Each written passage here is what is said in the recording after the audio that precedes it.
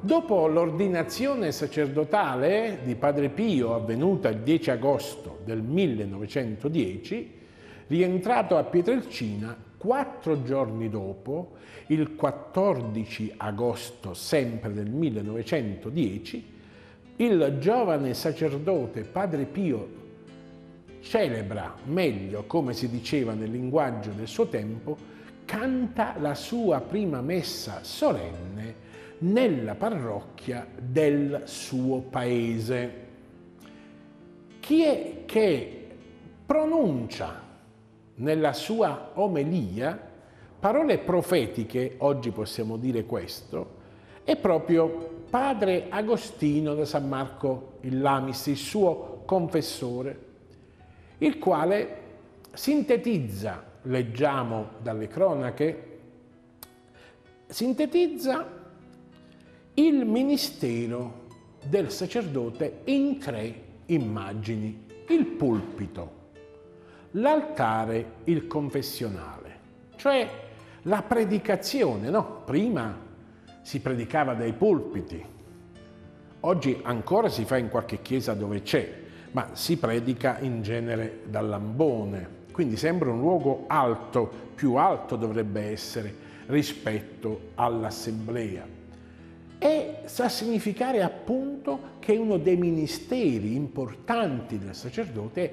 annunciare la parola del Signore. Poi l'altare, cioè il sacerdote è colui che celebra, che offre il sacrificio di Cristo, colui che celebra l'Eucaristia, colui meglio che presiede oggi diremmo nel linguaggio del Vaticano II, colui che presiede l'Eucaristia, perché chi celebra è tutta l'assemblea, chi celebra la messa?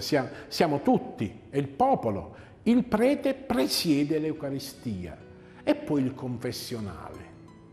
Il prete, il sacerdote è il ministro che in persona Cristi riconcilia il peccatore con il Padre il peccatore con Dio.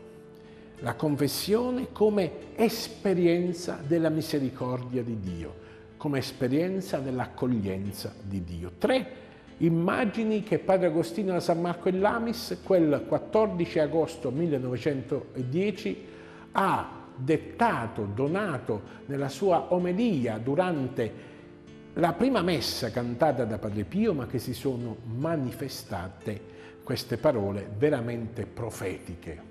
E profetiche sono ancora oggi non solo per i ministri ordinati, quindi per i sacerdoti, ma anche per i diaconi alcuni aspetti, ma anche per la vita consacrata e anche per le famiglie, anche per gli sposi e anche per i laici, i fedeli laici, sono profetiche queste parole perché in funzione del sacerdozio battesimale tutti abbiamo, non, io non dico dovere, ma dobbiamo avere la gioia interiore di saper annunciare Cristo con la nostra vita, di celebrare l'Eucaristia insieme a chi la presiede, di offrire la nostra vita come un'Eucaristia e poi di essere appunto testimoni della misericordia e dell'amore di Dio che sempre ci perdona, che sempre ci accoglie. L'importante è che noi facciamo il piccolo passo che chiamiamo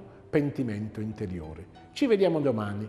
Padre Pio TV, dritto al cuore. Ciao.